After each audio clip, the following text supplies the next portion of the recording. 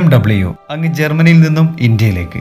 Three hundred C C വരുന്ന adventure സെഗ്മെന്റിലെ എതിരാളികൾക്ക് ഇപ്പോൾ വെല്ലുവിളിയായ B M W G three ten G S എന്ന ബൈക്ക് ഒരാഴ്ചത്തോളം ഓടിക്കാൻ കിട്ടിയ സന്തോഷം നിങ്ങളുമായി പങ്കുവെക്കുന്നു. Welcome back to my channel ആയിരത്തി തൊള്ളായിരത്തി ഇരുപത്തി ഒന്നിലാണ് ബി എം ഡബ്ല്യു എന്ന ബ്രാൻഡിന്റെ മോട്ടോർ സൈക്കിൾ ചരിത്രം ആരംഭിച്ചത്.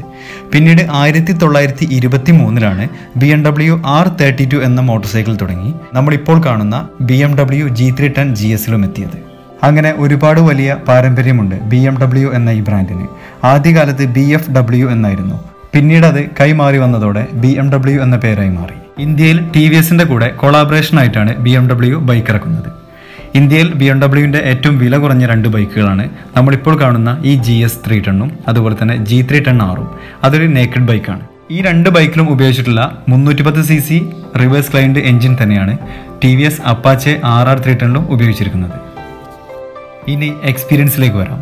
ഒരാഴ്ചത്തോളം ഈ ബൈക്ക് ഉപയോഗിച്ചപ്പോൾ ഏറ്റവും കൂടുതൽ അട്രാക്റ്റീവ് ആയതും ഏറ്റവും കൂടുതൽ ഇഷ്ടപ്പെട്ടതുമായ കാര്യം ഇതിന്റെ സീറ്റിംഗ് പൊസിഷൻ തന്നെയാണ്. ഡ്രൈവ് ചെയ്യുന്ന ആൾക്കും അതുപോലെ തന്നെ പില്യണ്ണും സൂപ്പർ കംഫർട്ടബിൾ ഞാൻ സിംഗിൾ സീറ്റ് ബൈക്കുകൾ ഉപയോഗിച്ചതിൽ വെച്ച് ഏറ്റവും കംഫർട്ടബിൾ കിട്ടിയ ബൈക്ക് ഞാൻ പേഴ്സണലി ഉപയോഗിക്കുന്ന bike Apache one sixty four V ആണ്. പക്ഷേ അത് സിംഗിൾ സീറ്റ് ബൈക്കാണെങ്കിലും ഇതിന്റെ സീറ്റിംഗ് പൊസിഷൻ ഒരു രക്ഷയില്ല കിടിലൻ. എന്ന് തന്നെ പറയാം. അത്രയ്ക്ക് കംഫർട്ടബിൾ ആണ്. പ്രത്യേകിച്ച് പില്ലണ്ണ് ശരിക്കും ഇതിന്റെ ഗ്രാബറയിൽ വലുതായതുകൊണ്ട് തന്നെ പില്ലണ്ണ് നല്ല കംഫർട്ടബിൾ ആയിട്ട് യാത്ര ചെയ്യാൻ കഴിയുന്നുണ്ട്. ഒരു തരത്തിലുള്ള കുലുക്കമോ പ്രശ്നങ്ങളോ ഒന്നുമില്ല. അതുപോലെ തന്നെ ഓഫ് റോഡിലും നല്ല കംഫർട്ടബിൾ തരുന്നുണ്ട്. സസ്പെൻഷൻ ഭയങ്കര സ്റ്റിഫല്ല എന്നാൽ ഭയങ്കര സോഫ്റ്റ് അല്ല. ഒരു ആവറേജ് എനിക്ക് മനസ്സിലായ കാര്യമാണ് ഇനി ഇത് കൂടുതലായിട്ട് ഉപയോഗിച്ച ആളുകൾക്ക് ഇതിൽ കൂടുതൽ എക്സ്പീരിയൻസ് ഉണ്ടാവും. എനിക്ക് ഒരാഴ്ച കൊണ്ട് കിട്ടിയ കാര്യങ്ങളാണ് ഇവിടെ ഷെയർ ചെയ്യുന്നത്. ഇത് കേൾക്കുന്ന ആളുകൾ വിചാരിക്കും ജി എസിന്റെ seating position R T R one sixty ഫോറുമായി compare ചെയ്തതാണോ എന്ന്. എന്നാൽ അല്ല R T R one sixty ഉപയോഗിക്കുന്ന ആളുകൾക്കറിയാം.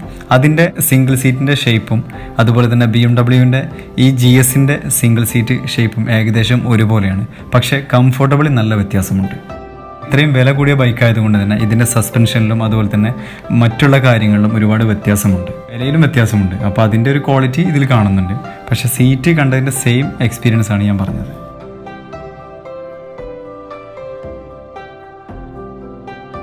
അതുപോലെ തന്നെ മറ്റു കാര്യങ്ങളും ഉൾപ്പെടുത്താം. വൈബ്രേഷൻ വളരെ കുറവാണ്. ഹീറ്റിംഗ് ഇഷ്യൂ എനിക്ക് തീരെ അനുഭവപ്പെട്ടിട്ടില്ല. ഞാൻ ടൗണിൽ ട്വന്റി മിനിറ്റ്സോളം ട്രാഫിക്കുള്ള സമയത്ത് ഉപയോഗിച്ച് നോക്കി. എനിക്ക് ബുദ്ധിമുട്ടൊന്നും അനുഭവപ്പെട്ടിട്ടില്ല. ഇനി അനുഭവപ്പെട്ട ആളുകൾ ഉണ്ടാവാം. പക്ഷേ ഞാൻ എന്റെ എക്സ്പീരിയൻസ് ആണ് ഇവിടെ നിങ്ങളുമായി ഷെയർ ചെയ്യുന്നത്. പിന്നെ എനിക്കൊരു ബുദ്ധിമുട്ടായിട്ട് തോന്നിയ ഒരു കാര്യം എന്ന് പറയുന്നത് എൻജിൻ സൗണ്ട്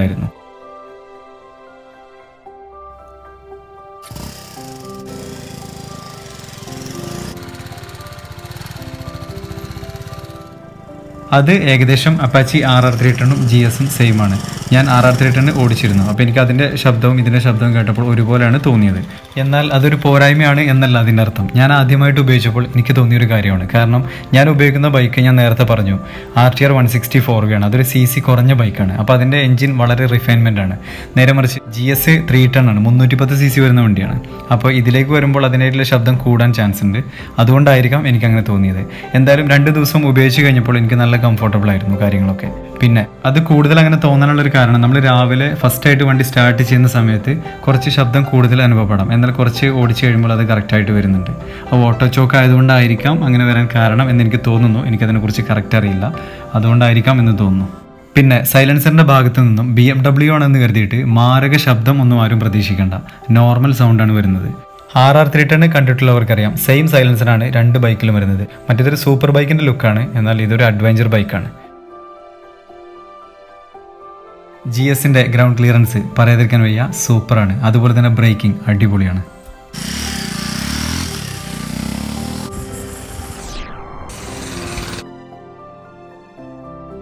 അതുപോലെ തന്നെ ഡ്രൈവ് ചെയ്യുന്ന ആൾക്ക് കറക്റ്റ് സീറ്റിംഗ് പൊസിഷനാണ് കറക്റ്റായിട്ട് ഫുഡ് റെസ്റ്റ് ഒരുപാട് പുറകിലേക്കല്ല. അതുകൊണ്ട് തന്നെ വലിയ ബുദ്ധിമുട്ടുകളും അനുഭവപ്പെടുന്നില്ല. പിന്നെ എടുത്തു പറയേണ്ട ഒരു കാര്യം വൈഡ് ഹാൻഡിലാണ് അടിപൊളിയാണ്.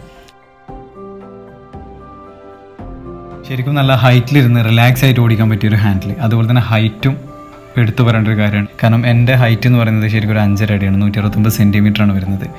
അപ്പോൾ ഇതിൽ എനിക്ക് ബുദ്ധിമുട്ടായിട്ടുള്ള വലിയൊരു കാര്യം വരുന്നുണ്ട്. അത് ഞാൻ പറയാം. അതായത് എന്റെ ഹൈറ്റുള്ള ഒരാൾക്ക് തന്നെ ശരിക്കും കാലത്തില്ല. എനിക്ക് തന്നെ രണ്ട് കാലും ശരിക്ക് പരിപൂർണമായിട്ട് നിലത്ത് കുത്താൻ കഴിയില്ല. രണ്ട് കാലം കുത്തുകയാണെന്നുണ്ടെങ്കിൽ തള്ളവരൽ കൊണ്ട് മെയിന്റെയിൻ ചെയ്യാൻ കഴിയുന്നുള്ളൂ. അതല്ല എന്നുണ്ടെങ്കിൽ ഒരു കാൽ ഫുഡ്രസ്റ്റിൽ കയറ്റി വെച്ചാൽ മറ്റേ കാൽ ഫ്ലാറ്റായിട്ട് കുത്താൻ കഴിയുന്നുണ്ട്. അതൊരു ഭയങ്കര ബുദ്ധിമുട്ടായിട്ട് എനിക്ക് തോന്നിയിട്ടുണ്ട്.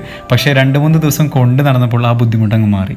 കാരണം നമ്മൾ എവിടെയെങ്കിലും വണ്ടി പാർക്ക് ചെയ്തിട്ട സമയത്ത് നമ്മളിവിടുന്ന് എടുക്കുന്ന സമയത്തൊക്കെയാണ് ബുദ്ധിമുട്ട്. ഹെവി വെയിറ്റ് ഒന്നും പറയാനില്ല. ഡ്യൂക്കിനൊക്കെ അപേക്ഷിച്ച് വെയിറ്റ് കൂടുതലാണ്. എന്നാൽ ഡൊമിനോർ ഏകദേശം ആ ഒരു വെയിറ്റൊക്കെ തന്നെ ഇത് വരുന്നുള്ളൂ. അപ്പോൾ നമുക്ക് ആ സമയത്ത് പാർക്കിങ്ങിൽ നിന്നൊക്കെ എടുക്കുന്നത് ഏറ്റവും നല്ലത്. നമ്മൾ ഇരുന്നിട്ട് അത് തുഴയുന്നതിനെക്കാട്ടിലും നല്ലത് ഇറങ്ങിയിട്ട് വണ്ടി വലിച്ചു കയറ്റുന്നതാണ് ഏറ്റവും ബെസ്റ്റ് പക്ഷേ നമ്മൾ കയറിയിരുന്ന് ഓടിച്ചു കഴിഞ്ഞാൽ എത്ര ഹൈറ്റ് കുറഞ്ഞ ആളുകൾക്കും വളരെ സിമ്പിളായിട്ട് കൈകാര്യം ചെയ്യാൻ കഴിയുന്ന ഒരു വണ്ടിയാണ്. ഒരു വലിയ ബുദ്ധിമുട്ടാണെന്നൊന്നും തോന്നില്ല റിലാക്സ് ചെയ്ത് തന്നെ ഓടിക്കാൻ കഴിയുന്ന ഒരു വണ്ടിയാണ്. കാൽ കുത്തുന്ന സമയത്ത് മാത്രം ഈ പ്രശ്നമുള്ളൂ. എന്തായാലും എന്റെ നാട്ടിൽ വണ്ടി ആദ്യമായിട്ടായിരുന്നു അതുകൊണ്ട് തന്നെ നല്ല റോഡ് പ്രസൻസ് ഉണ്ടായിരുന്നു. ആളുകളെല്ലാം നോക്കുന്നുണ്ടായിരുന്നു. ഫോട്ടോ എടുക്കുന്നുണ്ടായിരുന്നു. ഇതിനെക്കുറിച്ച് ചോദിക്കുന്നുണ്ടായിരുന്നു. ഒക്കെ രസമായിരുന്നു കേട്ടോ ആ സമയത്ത്. പിന്നെ മൈലേജിന്റെ കാര്യം ഞാൻ കറക്റ്റായിട്ട് ചെക്ക് ചെയ്തിട്ടില്ല. കാരണം ഈ വണ്ടി ഫസ്റ്റ് സർവീസ് കഴിഞ്ഞതേ ഉള്ളൂ.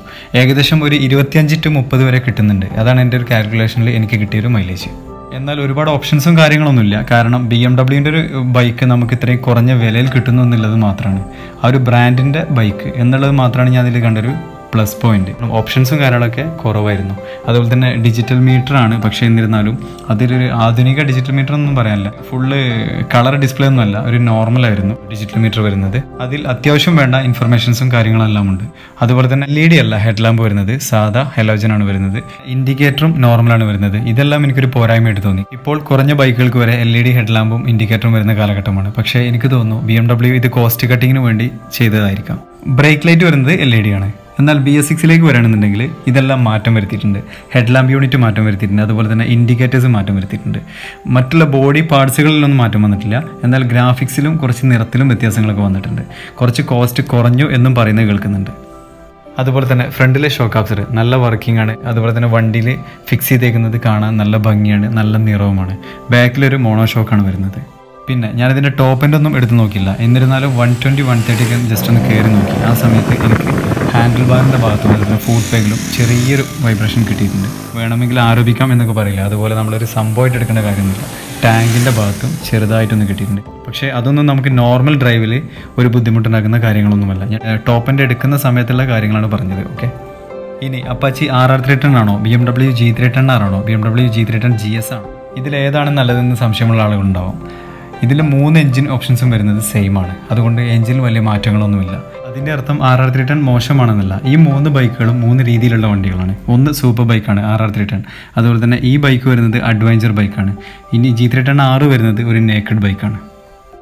അപ്പോൾ നമുക്ക് ഇഷ്ടപ്പെട്ട മോഡൽ ഇതിൽ ഏതാണെന്ന് വെച്ചാൽ ആ മോഡൽ നമുക്ക് തിരഞ്ഞെടുക്കാം. ബി എം ഡബ്ല്യു ആണെന്ന് കരുതി ഒരുപാട് മെയിനൻസ് ഒന്നും വരുന്നില്ല. ബി എം ഡബ്ല്യു എന്ന ബ്രാൻഡിന്റെ ഒരു ബൈക്ക് സ്വന്തമാക്കണം എന്ന് കരുതുന്ന ഒരാൾക്ക് പോക്കറ്റ് കാലിയാകാതെ ഒരുപാട് കാശൊന്നും കൊടുക്കാതെ സ്വന്തമാക്കാൻ കഴിയുന്ന ഒരു ബൈക്ക് എന്നാണ് ഇതെനിക്ക് മനസ്സിലായത്.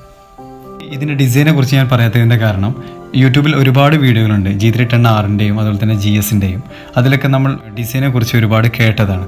അതുപോലെ തന്നെ പവർ ടോർക്ക് സർവീസ് കോസ്റ്റ് എന്നീ കാര്യങ്ങളൊന്നും ഇതിൽ ഉൾപ്പെടുത്തിയിട്ടില്ല.